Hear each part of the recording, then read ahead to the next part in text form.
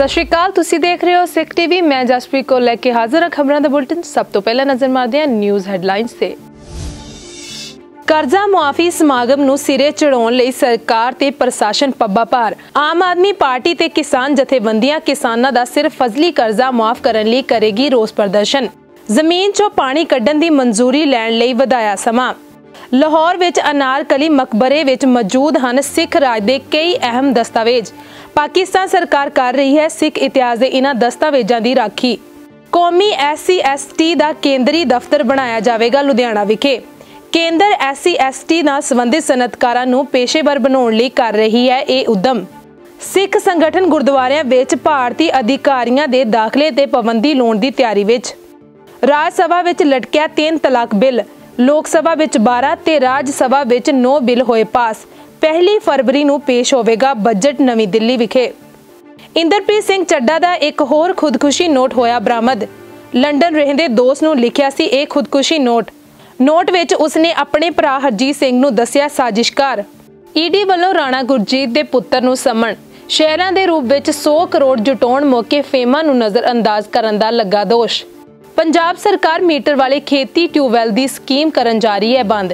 ਕਿਸਾਨਾਂ ਵਿੱਚ ਪਾਇਆ ਜਾ ਰਿਹਾ ਹੈ ਭਾਰੀ ਰੋਸ। ਸੂਤਰਾਂ ਅਨੁਸਾਰ ਬੰਦ ਨਹੀਂ, ਬਲਕਿ ਕੁਝ ਸਮੇਂ ਲਈ ਰੋਕੀ ਗਈ ਹੈ ਇਹ ਸਕੀਮ। ਇੰਦਰਪ੍ਰੀਤ ਸਿੰਘ ਚੱਡਾ ਦਾ ਅੰਮ੍ਰਿਤਸਰ ਵਿਖੇ ਕੀਤਾ ਗਿਆ ਅੰਤਿਮ ਸੰਸਕਾਰ। ਮੌਕੇ ਤੇ ਪਿਤਾ ਚਰਨਜੀਤ ਸਿੰਘ ਚੱਡਾ ਅਤੇ ਪਰਿਵਾਰਿਕ ਮੈਂਬਰਾਂ ਸਮੇਤ ਵੱਡੀ ਗਿਣਤੀ ਵਿੱਚ ਲੋਕ ਹੋਏ ਹਾਜ਼ਰ।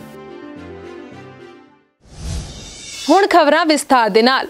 ਪੰਜਾਬ ਸਰਕਾਰ ਵੱਲੋਂ 7 ਜਨਵਰੀ ਨੂੰ ਮਾਨਸਾ ਤੋਂ ਸ਼ੁਰੂ ਕੀਤੇ ਜਾ ਰਹੇ ਕਰਜ਼ਾ ਰਾਹਤ ਰਾਜ ਪੱਧਰੀ ਸਮਾਗਮ ਨੂੰ ਅੰਤਿਮ ਸ਼ੋਹਾਂ ਦਿੱਤੀਆਂ ਜਾ ਰਹੀਆਂ ਨੇ। ਬੀਤੀ ਸ਼ਾਮ ਮੁੱਖ ਮੰਤਰੀ ਕੈਪਟਨ ਅਮਰਿੰਦਰ ਸਿੰਘ ਦੀ ਆਮਦ ਨੂੰ ਹਰੀ ਝੰਡੀ ਮਿਲਣ ਬਾਅਦ ਸਰਕਾਰ ਤੇ ਪ੍ਰਸ਼ਾਸਨਿਕ ਅਧਿਕਾਰੀ ਸਮਾਗਮ ਨੂੰ ਸਿਰੇ ਚੜਾਉਣ ਲਈ ਪੱਬਾਂ ਭਾਰ ਹੋਏ ਪਏ ਨੇ। ਦੱਸ ਦਈਏ ਕਿ ਸਮਾਗਮ ਵਿੱਚ ਮਾਲਵਾ ਖੇਤਰ ਦੇ ਪੰਜ ਜ਼ਿਲ੍ਹਿਆਂ ਮਾਨਸਾ, ਬਠਿੰਡਾ, ਮੁਕਸਰ, ਫਰੀਦਕੋਟ ਤੇ ਮੋਗਾ ਦੇ 2.5 ਏਕੜ ਤੋਂ ਘੱਟ ਮਾਲਕੀ ਵਾਲੇ ਕਿਸਾਨਾਂ ਦਾ ਸਹਿਕਾਰੀ ਸਭਾਵਾਂ ਤੋਂ ਲਿਆ ਫਸਲੀ ਕਰਜ਼ਾ ਮਾਫ ਕਰਨ ਦੀ ਸ਼ੁਰੂਆਤ ਕੀਤੀ ਜਾਵੇਗੀ।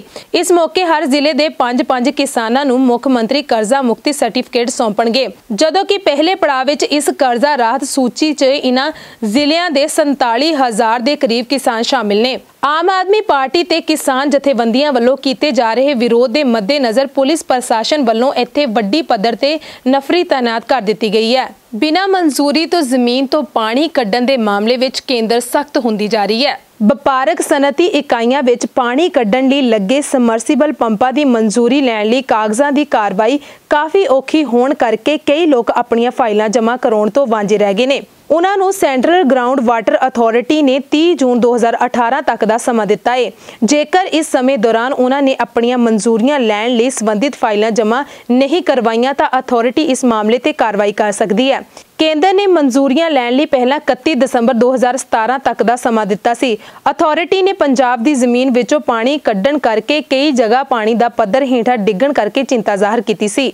ਲਾਹੌਰ ਸਥਿਤ ਅਨਾਰਕਲੀ ਮਕਬਰੇ ਵਿੱਚ ਖਾਲਸਾ ਦਰਬਾਰ ਦੇ ਸੁਨਹਿਰੀ ਇਤਿਹਾਸ ਦੇ ਕਈ ਅਹਿਮ ਦਸਤਾਵੇਜ਼ ਮੌਜੂਦ ਨੇ। ਜਿਨ੍ਹਾਂ ਨੂੰ ਪਾਕਿਸਤਾਨ ਸਰਕਾਰ ਦੁਆਰਾ ਨਾ ਸਿਰਫ ਸਹਿਜ ਕੇ ਰੱਖਿਆ ਜਾ ਰਿਹਾ ਹੈ, ਸਗੋਂ ਇਹਨਾਂ ਦਸਤਾਵੇਜ਼ਾਂ ਲਈ ਲੱਖਾਂ ਰੁਪਏ ਖਰਚ ਕੇ ਨਵੀਆਂ ਗੈਲਰੀਆਂ ਵੀ ਤਿਆਰ ਕਰਵਾਈਆਂ ਜਾ ਰਹੀਆਂ ਨੇ। ਜ਼ਿਕਰਯੋਗ ਹੈ ਕਿ ਸਿੱਖ ਰਾਜ ਸਮੇਂ ਮਹਾਰਾਜਾ ਰਣਜੀਤ ਸਿੰਘ ਦੇ ਪੁੱਤਰ ਸ਼ਹਿਜ਼ਾਦਾ ਖੜਕ ਸਿੰਘ ਇਸ ਆਲੀਸ਼ਾਨ ਮਕਬਰੇ ਨੂੰ ਆਪਣੀ ਰਿਹਾਇਸ਼ ਵਜੋਂ ਇਸਤੇਮਾਲ ਕਰਦੇ ਰਹੇ।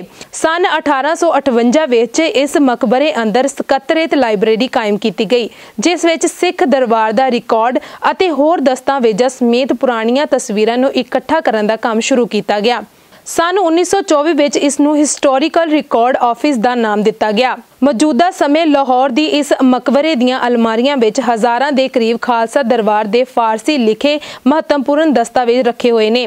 ਇਹਨਾਂ ਵਿੱਚ ਹਸਤ ਲਿਖਤ ਸ਼ਾਹੀ ਫਰਮਾਨ, ਮੁਰਾਸਲੇ, ਪਰਵਾਨੇ ਫੌਜੀ ਦਫ਼ਤਰੀ ਰਿਕਾਰਡ ਮਹਾਰਾਜਾ ਰਣਜੀਤ ਸਿੰਘ ਦੀ ਖਾਲਸਾ ਦਰਬਾਰ ਵੱਲੋਂ ਛੋਟੀਆਂ ਰਿਆਸਤਾਂ ਅਤੇ ਬ੍ਰਿਟਿਸ਼ ਈਸਟ ਇੰਡੀਆ ਕੰਪਨੀ ਨਾਲ ਸੰਬੰਧਿਤ ਹੋਈਆਂ ਸੰਧੀਆਂ ਆਦਿ ਦਸਤਾਵੇਜ਼ ਇਸ ਮਕਬਰੇ ਵਿੱਚ ਮੌਜੂਦ ਨੇ। ਭਾਰਤ ਦੇ ਪ੍ਰਧਾਨ ਮੰਤਰੀ ਨਰਿੰਦਰ ਮੋਦੀ ਵੱਲੋਂ ਐਸਸੀ, ਐਸਟੀ ਨਾਲ ਸੰਬੰਧਿਤ ਸਨਅਤਕਾਰਾਂ ਨੂੰ ਪੇਸ਼ੇਵਰ ਬਣਾਉਣ ਲਈ ਲੁਧਿਆਣਾ ਵਿਖੇ ਕੌਮੀ ਐਸਸੀ, ਐਸਟੀ ਦਾ ਕੇਂਦਰੀ ਦਫ਼ਤਰ ਬਣਾਇਆ ਜਾਵੇਗਾ। ਭਾਰਤ ਸਰਕਾਰ ਨੇ ਅਨੁਸੂਚਿਤ ਜਾਤੀ ਅਤੇ ਅਨੁਸੂਚਿਤ ਜਨਹਿਤ ਜਾਤੀ ਸਨਅਤਕਾਰਾਂ ਨੂੰ ਪੇਸ਼ੇਵਰ ਸਹਾਇਤਾ ਮੁਹੱਈਆ ਕਰਵਾ ਕੇ ਉਤਸ਼ਾਹਿਤ ਕਰਨ ਦੇ ਮਕਸਦ ਨਾਲ ਲੁਧਿਆਣਾ ਸਮੇਤ ਦੇਸ਼ ਦੇ ਕਈ ਸ਼ਹਿਰਾਂ ਵਿੱਚ ਕੌਮੀ ਐਸਸੀ ਐਸਟੀ ਹੱਬ ਵਜੋਂ ਵਿਕਸਿਤ ਕਰਨ ਦਾ ਫੈਸਲਾ ਕੀਤਾ ਹੈ ਜਿਸ ਨਾਲ ਇਸ ਵਰਗ ਦੇ ਲੋਕਾਂ ਨੂੰ ਆਪਣੇ ਉਦਯੋਗ ਸਥਾਪਿਤ ਕਰਕੇ ਦੇਸ਼ ਅਤੇ ਸਮਾਜ ਦੇ ਵਿਕਾਸ ਵਿੱਚ ਯੋਗਦਾਨ ਪਾਉਣ ਵਿੱਚ ਸਹਾਇਤਾ ਮਿਲੇਗੀ। ਇਸ ਯੋਜਨਾ ਸੰਬੰਧੀ ਅਨੁਸੂਚਿਤ ਜਾਤੀ ਅਤੇ ਅਨੁਸੂਚਿਤ ਜਨਜਾਤੀ, ਉਦਮੀਆਂ ਅਤੇ ਸਨਅਤ ਇਕਾਈਆਂ ਨੂੰ ਜਾਣੂ ਕਰਾਉਣ ਲਈ National Small Industries Corporation Limited ਵੱਲੋਂ ਵਿਸ਼ੇਸ਼ ਸਮਾਗਮ 8 ਜਨਵਰੀ ਨੂੰ ਹੋਟਲ ਮਹਾਰਾਜਾ ਰੀਜੈਂਸੀ ਫਿਰੋਜ਼ਪੁਰ ਸੜਕ ਲੁਧਿਆਣਾ ਵਿਖੇ ਕਰਵਾਇਆ ਜਾ ਰਿਹਾ ਹੈ। ਬਰਤਾਨੀਆ ਵਿੱਚ ਇੱਕ ਉੱਗਾ ਸਿੱਖ ਸੰਗਠਨ ਭਾਰਤੀ ਅਧਿਕਾਰੀਆਂ ਦੇ ਗੁਰਦੁਆਰਿਆਂ ਵਿੱਚ ਦਾਖਲ ਹੋਣ ਤੇ ਪਾਬੰਦੀ ਲਗਾਉਣਾ ਚਾਹੁੰਦਾ ਹੈ। ਉਸ ਦਾ ਦੋਸ਼ ਹੈ ਕਿ ਇਹ ਅਧਿਕਾਰੀ ਸਿੱਖ ਭਾਈਚਾਰੇ ਦੇ ਅੰਦਰੂਨੀ ਮਾਮਲਿਆਂ ਵਿੱਚ ਦਖਲ ਦੇ ਰਹੇ ਨੇ।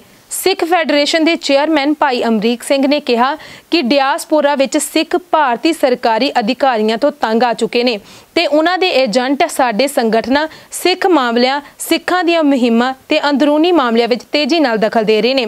ਇਸ ਤੋਂ ਇਲਾਵਾ ਇਹ ਅਧਿਕਾਰੀ ਡਿਆਸਪੋਰਾ ਦੇ ਸਿੱਖਾਂ ਨੂੰ ਭਾਰਤ ਜਾਣ ਤੇ ਵੀ ਨਿਸ਼ਾਨਾ ਬਣਾਉਂਦੇ ਨੇ। ਉਹਨਾਂ ਨੇ ਕਿਹਾ ਕਿ ਯੂਕੇ ਦੇ ਰਹਿਣ ਵਾਲੇ ਜਗਤਾਰ ਸਿੰਘ ਜੋਹਲ ਨੂੰ ਭਾਰਤ ਜਾਣ ਤੇ ਮਿੱਥ ਕੇ ਕੀਤੀਆਂ ਗਈਆਂ ਹੱਤਿਆਵਾਂ ਦੇ ਮਾਮਲੇ ਵਿੱਚ ਕਥਿਤ ਭੂਮਿਕਾ ਕਾਰਨ ਗ੍ਰਿਫਤਾਰ ਕੀਤਾ ਗਿਆ ਸੀ।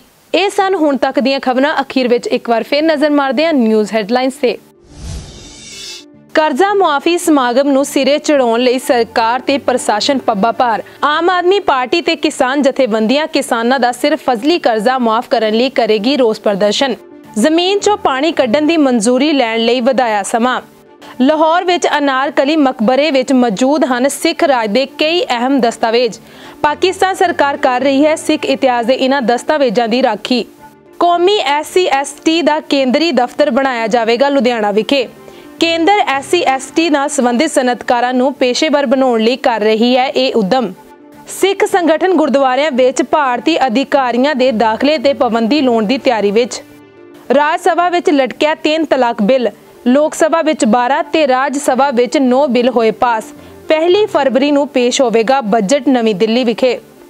ਇੰਦਰਪ੍ਰੀਤ ਸਿੰਘ ਚੱਡਾ ਦਾ ਇੱਕ ਹੋਰ ਖੁਦਕੁਸ਼ੀ ਨੋਟ ਹੋਇਆ ਬਰਾਮਦ। ਲੰਡਨ ਰਹਿੰਦੇ ਦੋਸਤ ਨੂੰ ਲਿਖਿਆ ਸੀ ਇਹ ਖੁਦਕੁਸ਼ੀ ਨੋਟ। ਨੋਟ ਵਿੱਚ ਉਸਨੇ ਆਪਣੇ ਭਰਾ ਹਰਜੀਤ ਸਿੰਘ ਨੂੰ ਦੱਸਿਆ ਸਾਜ਼ਿਸ਼ਕਾਰ। ਈਡੀ ਵੱਲੋਂ ਰਾਣਾ ਗੁਰਜੀਤ ਦੇ ਪੁੱਤਰ ਨੂੰ ਸਮਣ ਸ਼ਹਿਰਾਂ ਦੇ ਰੂਪ ਵਿੱਚ 100 ਕਰੋੜ ਜੁਟਾਉਣ ਮੌਕੇ ਫੇਮਾ ਨੂੰ ਨਜ਼ਰ ਅੰਦਾਜ਼ ਕਰਨ ਦਾ ਲੱਗਾ ਦੋਸ਼। ਪੰਜਾਬ ਸਰਕਾਰ ਮੀਟਰ ਵਾਲੇ ਖੇਤੀ ਟਿਊਬਵੈਲ ਦੀ ਸਕੀਮ ਕਰਨ ਜਾ ਰਹੀ ਹੈ ਬੰਦ। ਕਿਸਾਨਾਂ ਵਿੱਚ ਪਾਇਆ ਜਾ ਰਿਹਾ ਹੈ ਭਾਰੀ ਰੋਸ। ਸੂਤਰਾਂ ਅਨੁਸਾਰ ਬੰਦ ਨਹੀਂ, ਬਲਕਿ ਕੁਝ ਸਮੇਂ ਲਈ ਰੋਕੀ ਗਈ ਹੈ ਇਹ ਸਕੀਮ। ਇੰਦਰਪ੍ਰੀਤ ਸਿੰਘ ਚੱਡਾ ਦਾ ਅੰਮ੍ਰਿਤਸਰ ਵਿਖੇ ਕੀਤਾ ਗਿਆ ਅੰਤਿਮ ਸੰਸਕਾਰ। ਮੌਕੇ ਤੇ ਪਿਤਾ ਚਰਨਜੀਤ ਸਿੰਘ ਚੱਡਾ ਅਤੇ ਪਰਿਵਾਰਿਕ ਮੈਂਬਰਾਂ ਸਮੇਤ ਵੱਡੀ ਗਿਣਤੀ ਵਿੱਚ ਲੋਕ ਹੋਏ ਹਾਜ਼ਰ। ਅੱਜ ਦੇ ਪੰਜਾਬੀ ਬੁਲਟਨ ਚ ਐਨਾ ਹੀ। ਤੁਸੀਂ ਦੇਖਦੇ ਰਹੋ ਸਿੱਖ ਟੀਵੀ, ਮੈਨੂੰ ਦੋ ਇਜਾਜ਼ਤ। ਧੰਨਵਾਦ।